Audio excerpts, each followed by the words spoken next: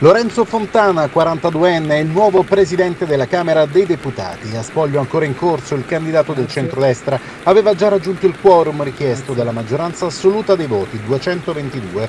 Un accordo sul suo nome è arrivato a tarda sera dopo quello dato per certo di Molinari e che non piace all'opposizione, tanto da manifestare la propria contrarietà con uno striscione in aula. Una scelta sbagliata, secondo noi, ed è una scelta che eh, conferma quello che abbiamo sempre pensato. Questa è una maggioranza che si è spostata sempre più verso la destra, sempre più verso il sovranismo. Al di là della distanza eh, tra le idee, le convenzioni politiche del Presidente Fontana e delle mie, anzi in molti casi il fatto che siano antitetiche queste convenzioni, non posso, mi devo limitare a registrare il voto del Parlamento e a fare gli auguri di buon lavoro a Fontana. E avremmo voluto come Presidente della Camera Federico Cafiero De Rao. Rispetto a Fontana abbiamo una visione per quanto riguarda valori, un quadro valoriale ben, ben distante, però eh, gli auguriamo comunque buon lavoro.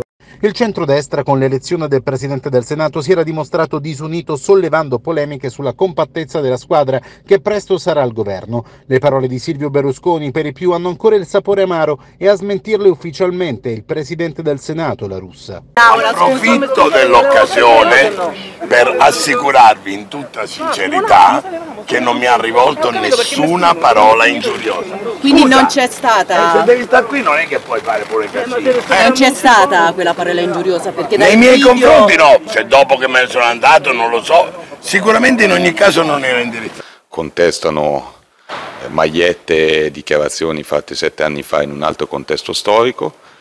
E quindi vabbè, andiamo avanti, non mi sembrano fatti rilevanti, l'obiettivo è quello di incominciare presto questa legislatura, penso che bisogna fare in fretta sul governo,